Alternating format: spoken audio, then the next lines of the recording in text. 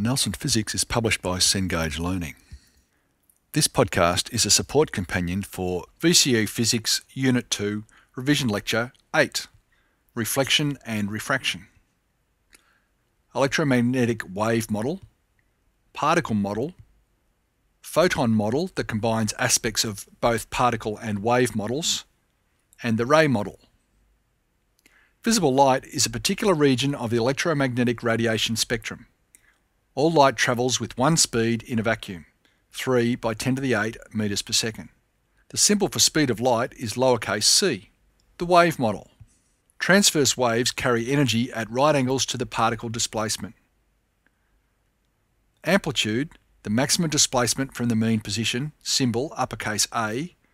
Wavelength, the length between successive waves, symbol lambda period, the time for one wave to travel the distance of one wavelength, symbol uppercase T, frequency, the number of waves passing a point per second, symbol lowercase f. The wave speed is equal to frequency times wavelength, or the wavelength divided by the period.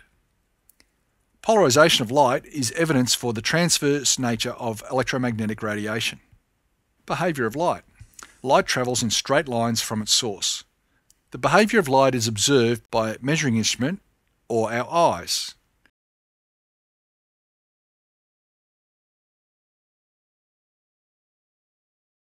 An instrument may be a camera, a telescope or a microscope.